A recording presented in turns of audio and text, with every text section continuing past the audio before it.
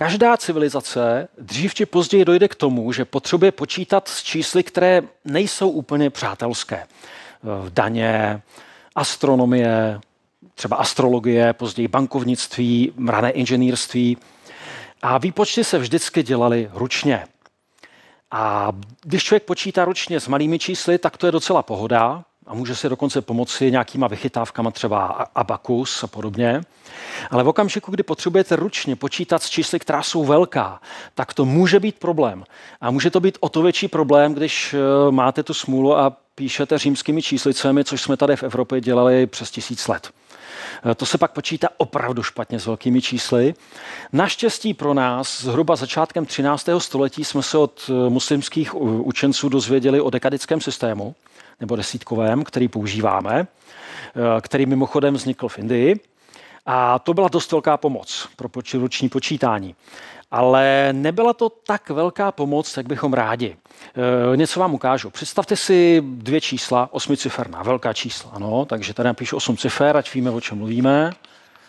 A já nebudu vymýšlet konkrétní čísla, protože to není podstatné. Takže já udělám 8 chlívečků. Teďka vidíte, proč jsem zvolil zrovna osmičku, protože se 8 chlívečků dobře dělá metodou půlení. Jo? Takže teďka tady udělám metodou půlení ještě další osmiciferné číslo. V každém chlívečku sedí cifra. A my si teď představíme, že tato dvě čísla chceme sečíst. Píšu sčítání.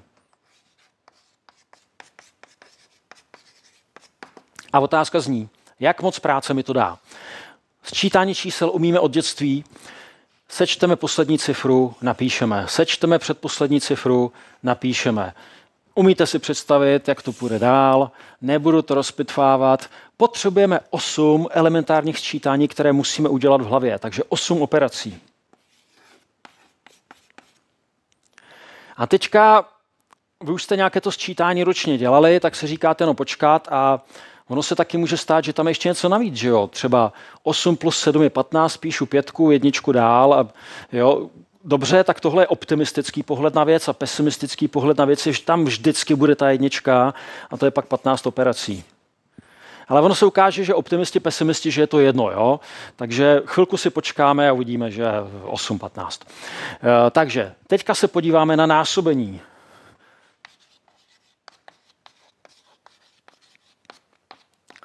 Takže jo, násobíme. Jak násobíme čísla? Vezmeme poslední cifru v druhém čísle a násobíme s poslední cifrou, napíšeme výsledek, pak s předposlední. Ono to vypadá podobně, že jo? Akorát místo sčítání takhle násobím z té poslední cifry. Osm násobení musím udělat v hlavě. A pak přeskočím na předposlední cifru a zase osm násobení a píšu si to takhle posunutě. Dobře, a pak zase a tak dále. Čili je asi jasné, co tady dělám.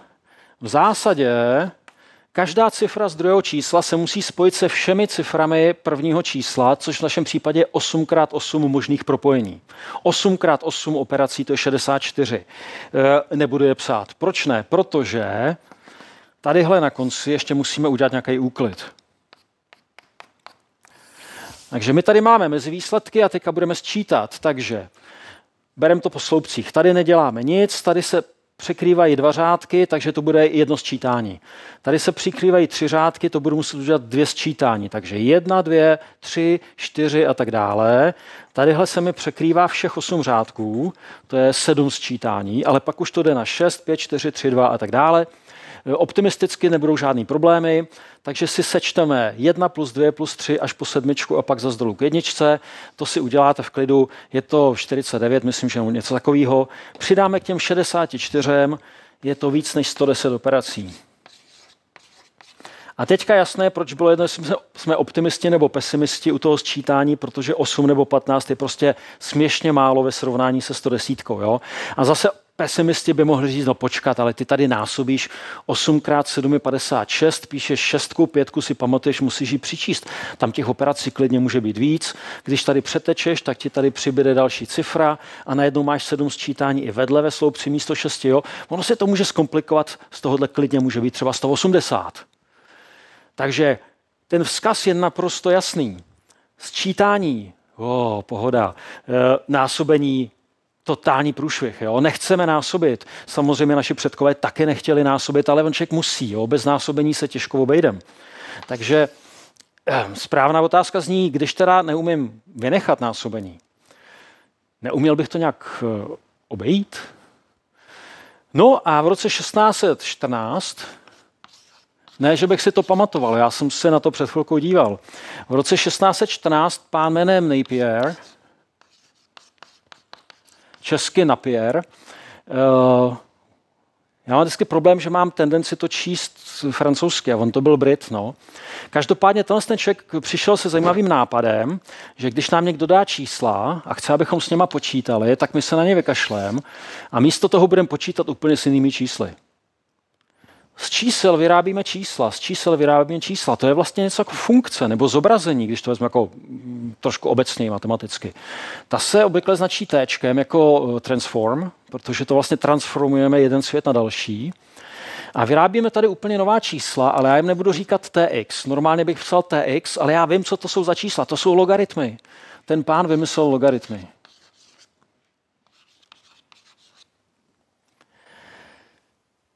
A jak mu to funguje? No, funguje mu to takhle. Máme dvě čísla a někdo chce, ať je vynásobíme. Což jako se nám do toho nechce, protože nějakých, řekněme, v průměru 150 operací fakt nechcem, tak my místo toho se mrkneme na logaritmy od těchto dvou čísel.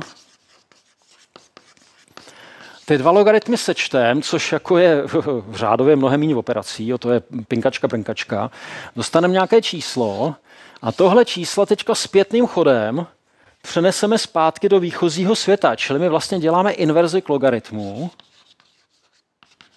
a dostaneme x krát y. Takže my to násobení dostaneme, ale vlastně co děláme je sčítání. A to je hlavní myšlenka, se kterou přišel ten pan Napier v roce 1614. A teď je otázka, jak, jak to, že to funguje. Jak to, že to funguje. Pojďme si vystopovat, co se vlastně tvrdí moderním jazykem. Ten pan Napier to měl mnohem těžší, protože v té době matematika neexistovala v takové formalizované algebraické podobě. Ale pro nás to bude lehké. Následující věc. Mám dvě čísla. x a y. Já je chci vynásobit. Já místo toho udělám něco jiného. Co budu dělat?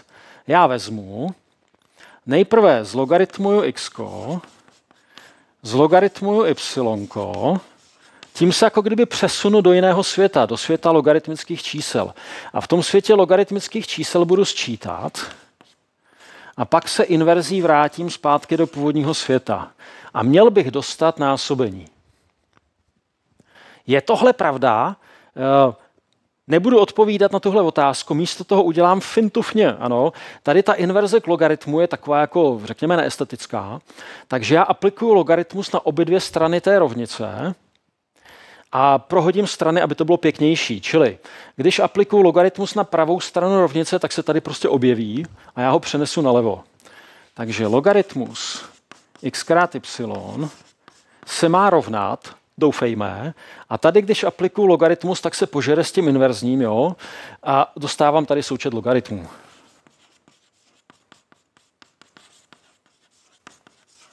Takže tohle je vzoreček, který pokud funguje, tak panu Napierovi bude fungovat tahle finta. Je ten vzoreček pravdivý? Otázka na tělo a odpověď no samozřejmě, to je přece jedna z těch základních identit, co, co do mě vtloukli na střední, že jo.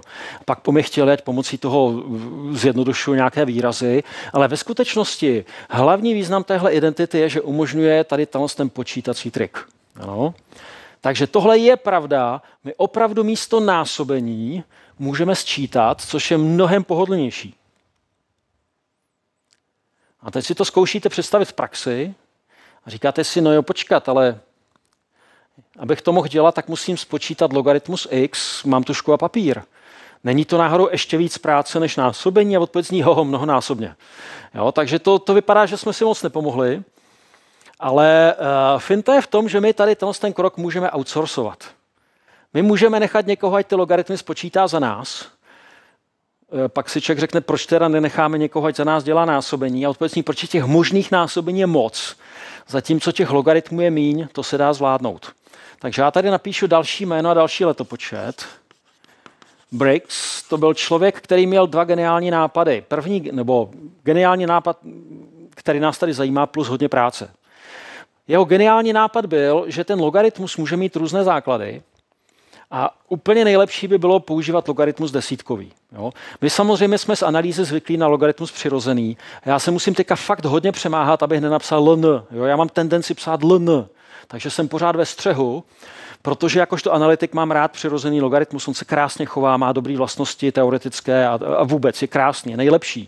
Ale v okamžiku, kdy člověk počítá prakticky, kdy je třeba inženýr nebo praktický vědec, dekadický logaritmus naprosto jasně kraluje. Takže já tady přidám desítku, aby bylo jasné, a třeba ještě tady. Takže ten pan Briggs navrhnul, že desítkový logaritmus je dobrý nápad a všichni řekli, no ty bláho má pravdu. Jo? A to bylo hned asi dva roky nebo tři roky po té napírově knížce. Takže pan Briggs velice rychle proměnil krajinu na dekadický logaritmus.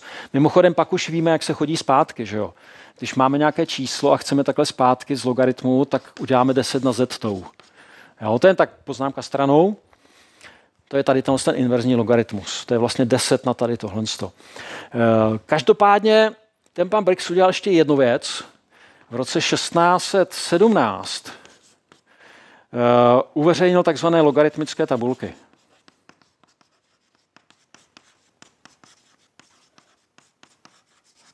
A teďka otázka, co to jsou logaritmické tabulky. No to je knížka, ta původně byla relativně štíhlá, ve které na každé stránce najdete číslo a jeho logaritmus. Číslo a jeho logaritmus. Číslo a jeho logaritmus. Eh, první tabulky tohoto typu už zveřejnil pan Napie, jinak by ten jeho vynález byl k ničemu.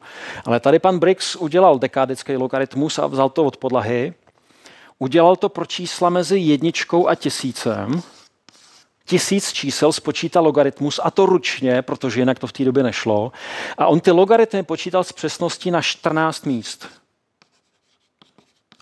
Tak jestli jste někdy počítali ručně s trošku delšími čísly, tak si zkuste představit, kolik práce dá počítat eh, tisíc logaritmů s přesností na 14 desetinných míst. To je jako fakt, fakt dost dobré. Takže ten pán Briggs do toho dal spoustu úsilí, ale jakmile ty tabulky byly, tak v té době už byl knihtisk, tisíce kopií a všichni lidi najednou mohli počítat pomocí logaritmických tabulek, které zjednodušily tyhle dva kroky, protože mám dvě čísla, najdu si je v tabulce, okopíruju si ty logaritmy, sečtu je a pak si ten výsledek, tady tuhle mršku, taky v té tabulce najdu ale napravo a přejdu zpátky doleva k výsledku. Jo? To je prostě jednoduchý proces. To člověk zvládne hned mnohem rychlejší, než dělat nějaké násobení se 110 operacemi. Samozřejmě hned čourá otázka. Vezmu dva logaritmy, sečtu, jaká je šance, že ten výsledek najdu tady v pravém sloupečku. Odpověď zní dost malá. Takže lidi odhadli, kolik by to tak mohlo být. Jo. Našli nejbližší hodnoty a trošku střelili od boku. Takže počítání s logaritmy e, není přesné, což není žádný problém, protože de facto v praktickém inženýrství, v praktickém životě se stejně někde nepočítá úplně přesně. Ani počítače nepočítají úplně přesně. Vždycky je numerická chyba při numerických výpočtech v počítači, totež při výpočtech v logaritmech a ono to nevadí. Hlavně se musí pohlídat, aby ta chyba nebyla moc velká. To pak už vadí. Jo? Ale dokud je chyba malá, věci jsou v pořádku. Takže já vám schválně ukážu příklad, abyste měli představu. Uh, já jsem si něco připravil, ale nejsem si jistý, že si to budu dobře pamatovat. Třeba 2,37 krát 1,74. Čtyřka to ještě nebyla, nebyla. Takže já zkusím tohle spočítat za pomocí logaritmických tabulek, které z okolností tady jsem jednu stránku našel. Takže to, co vidíte, je jedna stránka z logaritmických tabulek. Vypadá trošku komplikovaněji než tady tohle jednoduché a uvidíte proč. Aby, to, to je proto, aby se to tam trošku kompaktněji vešlo. Eh, člověk musí znát nějaké drobné triky, ale nebude to těžké, slibuju. 2,37. Potřebuji najít logaritmus 2,37. Tak první trik je, že mám najít 23, že mám ignorovat tu desetinou tečku, protože kdybych všude tiskli desetinný tečky, tak by se to prodražilo. Jo? To je strašná spousta teček. Takže tam, jak je třeba tady dole 35, tak je vlastně 3,5. A já hledám 2,37, tak vlastně hledám 23 a hned ji tam vidím. Jo? Tadyhle je řádek, já ho zkusím takhle nenápadně highlightnout. Tohle je řádek, který začíná 23 a ten mě zajímá. A teďka je zajímavé, že tam je hodně možných sloupečků a jich z okolností 10, což je z okolností stejné číslo, jako je počet možných cifer tady vzadu. To není náhoda. Čili já mám 23 upíchnutou tady vlevo a teďka se podívám do záhlaví a další cifra je sedmička, tak si najdu sedmičku a takhle jo, do kříže hned vidím, kde je logaritmus 2,37. Já to zkusím znovu highlightnout a tadyhle skončím včas. Takže pokud vidíte takový ten nezřetelný obdélníček, tady v tomhle sloupci na řádku 23 je logaritmus 3747, 3747, 3747, 0, Tohle je logaritmus čísla 2,37. Jo? Takhle jednoduchý to je. A teďka chci 1,74, takhle hledám sedmnáctku a čtvrtý sloupec. Nebo spíš pátý, tak jak to počítají, to je jedno. Sedmnáctka, sloupec, který je nahoře označený čtyřkou. Mám to tadyhle, tohle je to správné místo. A je to 2405. Takže krátkodobá paměť to udrží. 2405. Teďka jsem v téhle fázi, našel jsem logaritmy. Teďka přichází sčítací fáze, což samozřejmě v pohodě zvládnu. 7x5 takhle po ránu může být 12. 5, 1, 6, 0. Tak, tohle je teďka tady tohle zvířátko a já se potřebuji přesunout zpátky do původního světa.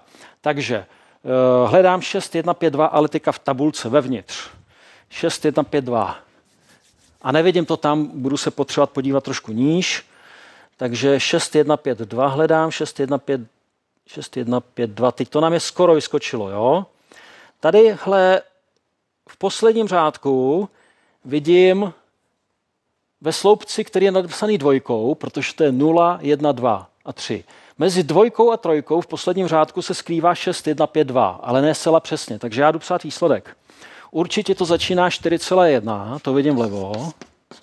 A další cifra by mohla být buď dvojka nebo trojka, ale je to spíš něco mezi a já bych řekl, že to blíž k té dvojce. Takže já bych tady dal dva a protože je to k ní blíž, znatelně blíž, tak já bych zkusil třeba trojku.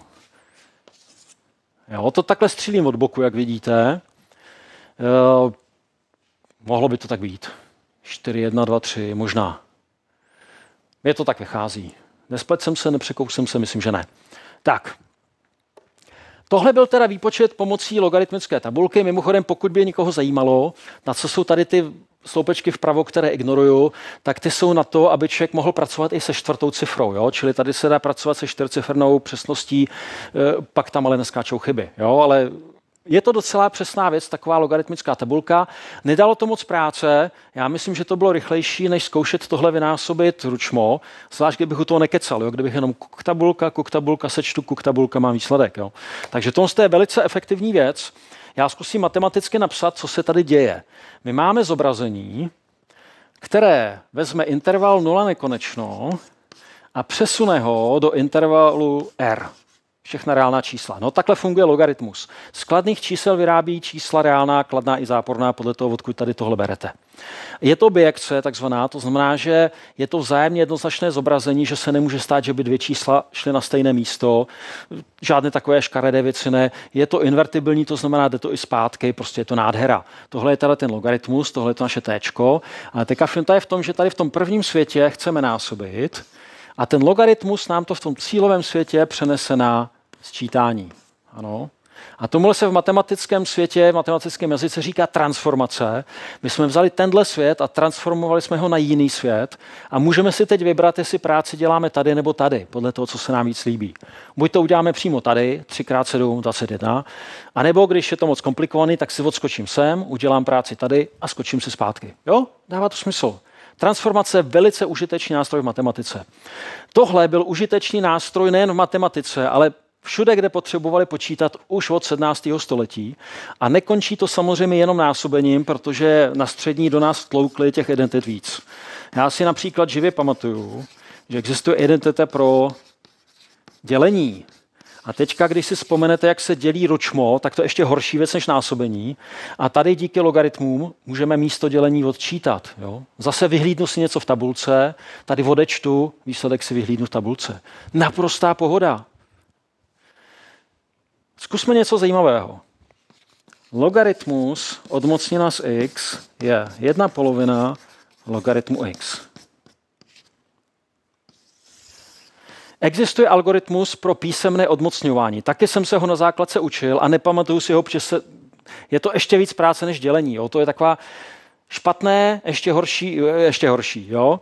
A Díky logaritmům, když se přeneseme do druhého světa, tak tady můžu dát odmocninku jako speciální operaci. Všimněte si, že tady mám dva vstupy a spojou se nějakou operací, a tady mám jenom jeden vstup a já na něho aplikuji nějakou akci.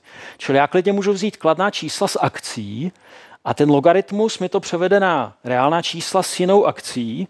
Akce je dělení dvěma, což je pohodová operace, jako viděli číslo dvěma, jo. Levou zadní. Praváci, leváci to dělají pravou zadní. Takže logaritmy opravdu zrevolucionovaly byla to revoluce ve výpočetnictví, protože prostě najednou se ty výpočty dali dělat úplně v pohodě. Člověk si koupil tabulku logaritmů a byl v pohodě. Tohle de facto odstartovalo vědecko-technickou revoluci do značné míry, protože konečně lidi mohli pohodlně dělat docela komplikované výpočty. A tohle s náma bylo hodně dlouho, ale zároveň s náma bylo hodně dlouho ještě něco. Protože lidi si říkali, ti, kteří počítali hodně a kteří nepotřebovali úplně super přesnost, tak si říkali, to je furt nuda, nedá se to nějak vylepšit. Když jsem byl v první třídě, tak paní učitelka nám řekla, ať si vezmeme dvě pravítka, dáme je takhle k sobě těma stupnicema a ukázala nám, že se pomocí dvou pravítek dá sčítat a odčítat. A to věděli už staří řekové před dvěma tisíci lety a věděli to samozřejmě tady těhle lidi v 17. století. Takže brzy poté, co pan Briggs udělal krásné tabulky a co přišel desítkový logaritmus, tak je napadlo, že tohle by se dalo dělat prostě pomocí dvou pravítek. A pak někoho napadlo, že místo, abych ty jedničky, dvojky, trojky, čtyřky tam dělal pravidelně, tak bych je mohl tak jako předělat trošku, aby už tam byl i ten logaritmus zabudovaný. Takže když se udělají dvě pravítka, ale takový jako speciální dvě pravítka, tak těma dvěma pravítkama se vlastně dalo násobit a dělit, aniž by člověk musel něco psát, prostě to na těch pravítkách vykoukal. A to se píšou 20. léta, 1620 něco, jo, tam není úplně přesný datum, a je tam několik jmen, každý vymyslel něco nového a tomu, tomu se říká logaritmické pravítko.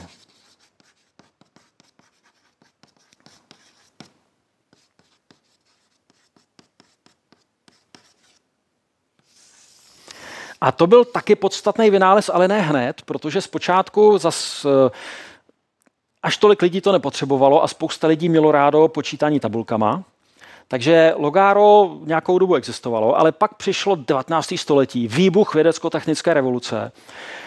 Všude po světě najednou byly desítky, tis, možná stovky tisíc inženýrů, kteří pořád stavili nějaké úžasné věci. Všichni potřebovali něco počítat a pokud možno rychle.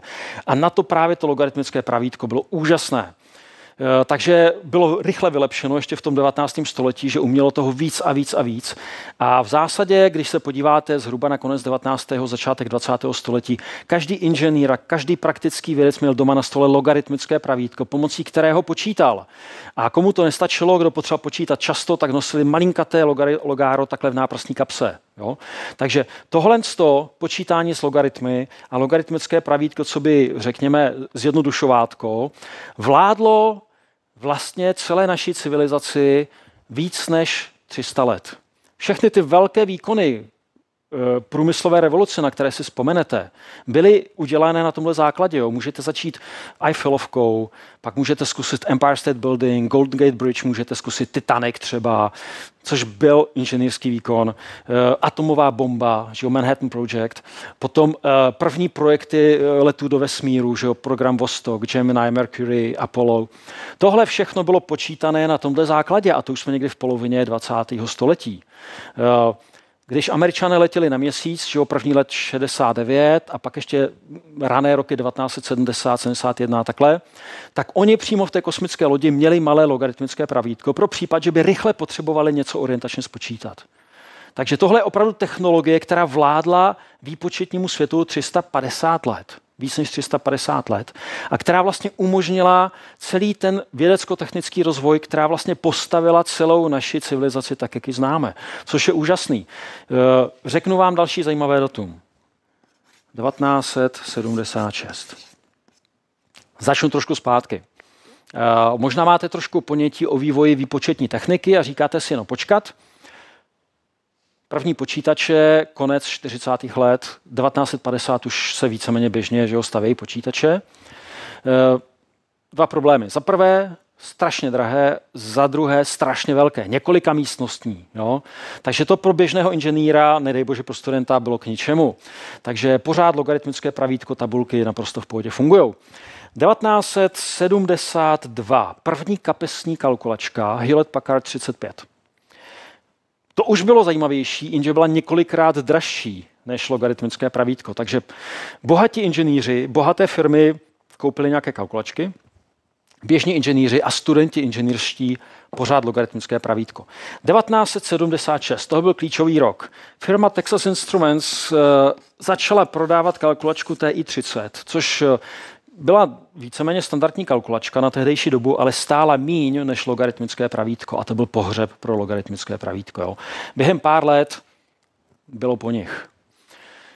Takže tohle byl opravdu klíčový rok, takže my víme, kdy logaritmy a logaritmické pravítko začaly a víme v zásadě, kdy skončily.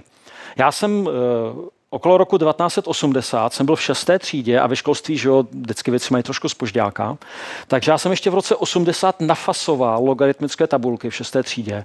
Naučili mi, jak s něma počítat a ve fyzice jsme normálně ty příklady dopočítávali logaritmickými tabulkama, ale v osmé třídě už jsme měli kalkulačky. Takže já jsem zažil vlastně historický přerod z téhle úžasné revoluční technologie na tu novou nudnou, kde jenom člověk ťuká a ono mu to vyjde. Jo? Eh, nestěžuju si. Eh, každopádně tohle byla úžasná doba, Dokonce mám doma logaritmický pravítko, já jsem se ho ještě v té době koupil, protože mi to do dneška ho mám, přijde mi to strašně romantické. Jo? Prostě před sto lety si představte, že jste třeba Brit jo? a dostanete zakázku v Indii, tak tam přijedete, stavíte tam železnici transkontinentální a počítáte věci na logáru, který se sebou nosíte. Jo? To je úžasný. Eh, každopádně tohle je skoro konec příběhu, ale abychom to uzavřeli pořádně, tak eh, předmět doličný. Tohle je logaritmické pravítko, které jsem podědil po kolegovi, který už před nějakou dobou šel do důchodu a on ho opravdu používal, je vidět, že je jeté. Eh, obal z pravé kůže, protože tohle mělo vydržet několik generací. Jo. Eh, tohle je logaritmické pravítko, má na sobě několik šoupátek, nemá jenom dvě, jak takové ty základní logaritmické pravítka měly ty první. Má tady spoustu stupnic, protože ono bylo vylepšeno tak, aby ti inženýři fakt uměli dopočítat v zásadě všechno. A teďka si na tomhle logaritmickém pravítku zkusíme znovu spočítat tady ten příklad. Takže začneme tím, že pro nás jsou podstatné dvě stupnice a to jsou ty, kde tady ta prostřední část se dotýká těch nepohyblivých. Takže tady jsou dvě stupnice, které lze použít k násobení a dělení. To je ta horní a ta dolní. A každá má svou výhodu, nevýhodu, to teď nebudu rozpitvávat. Já použiju to horní. Tam se nám potkávají dvě škály, které jsou zdvojené, jako kdyby zrcadlené. A já si na jedné z nich najdu to první číslo, což je 2,37 a použiju k tomu tady tohodle pomocného šoupátka, které má uprostřed trysku, takovou velice tenonkou, 2,37. Tady je 2, 2,5, 2,7, ne, 2,3. Takže tady je 2, tady je 2,123, 2,37 by mohlo být někde tady, asi tak od voka, jo. A tím se dostáváme k tomu, že eh, když počítáte na kalkulačce, tak musíte vědět, jaké máte mačkat knoflíky, čili musíte vědět jak.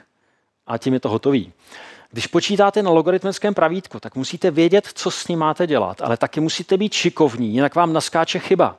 Takže inženýři, kteří, nebo studenti, kteří se chtěli stát inženýry na vysoké škole, tak museli taky mimo jiné trénovat počítání s logaritmickými pravítky a měli vlastně zadané, do jaké přesnosti se musí trefit, jinak normálně vyletěli od zkoušky, pokud se do ní netrefili, pokud nebyli dost šikovní.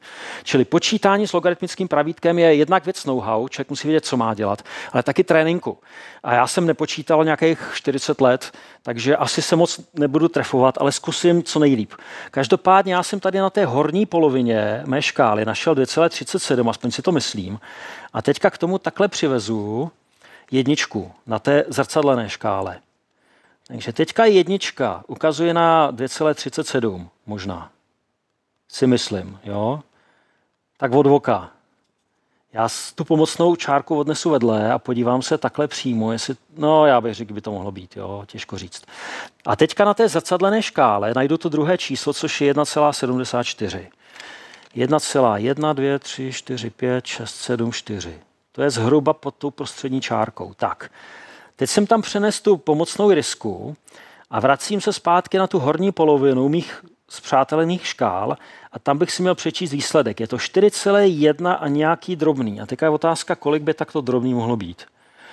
že by to byla tak třetina té vzdálenosti. Já to typnu na třetinu. 4,13. To by byl můj odhad. 4,13.